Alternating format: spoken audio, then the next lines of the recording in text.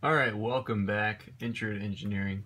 We are now on activity 5.7, force stability. So um, from our Canvas account, okay, this activity is going to be through my PLTW. So course content, click here, unit 5, 5.7, force stability.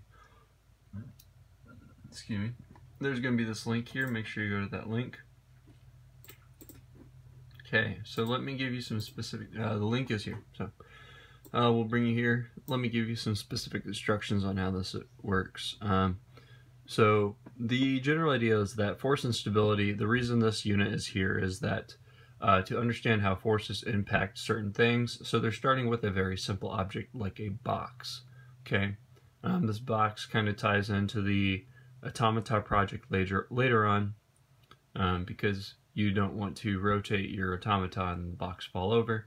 All right, and then also this will actually give you just a little bit of what we do in principles of engineering um, when we get into statics. So it's going to introduce the concept of moments, and moments are a mathematical concept that allow us to calculate how much clockwise or counterclockwise force there is um, in an object when trying to move it. So what we're going to do is through 1 through 6, you're not going to do it. Alright, don't worry about it. Starting at part 2, engineering design, you are going to. Uh, very short video, like I said, what you're going to do is you're going to go through video 1, you're going to go through video 2. Alright, and both of those videos, it's going to go over the concepts of moments. Um, and then in your notebook, you are going to do question uh, 9A, 9B, 9C, and 9D. All right, and then you're going to use this information here to create this object in Inventor, and then following the video tutorial, uh, it's going to show you how to uh, make a sketch profile, go to the origin, um, and then just to go over that, you know, moving the sketch profile to the origin, so is the retaining wall uh, going to protect the workers from the force of soil and water. Um, that would be through this math here. So using the questions here and the information you need to calculate the moment. All right, and this is important stuff to know because, for example, this is a retaining wall. If the retaining wall doesn't hold back the soil and water uh, for construction or shoring for construction, all right, that could actually cause some people to get either um, really extremely hurt or uh, even uh, killed.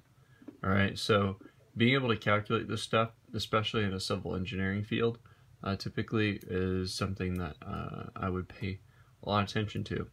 Um, the math concepts uh, can get a little uh, foggy at some points, so make sure you talk to some of your other um, classes. Also, um, any kid in Principles of Engineering uh, would be able to uh, explain this a little better um, if I'm not able to. So make sure you watch those videos. Um, they're there for you to be able to watch multiple times. Um, and then you're going to do 9A through 9D and uh, you'll also draw the object in Inventor and follow along with this video. Very short assignment, um, no specific grade on it. There will be a check just to make sure you understand what you're doing. Um, and from there, once we're done with 5.7, our next project is going to be 5.8, and that's going to be a, a, design challenge from NASA. Uh, so we're going to get into that video here in just a minute. Um, once you're done with this project, talk to your teacher uh, or sub and let them know so they can check your work. Um, and with that, good luck and have a good day.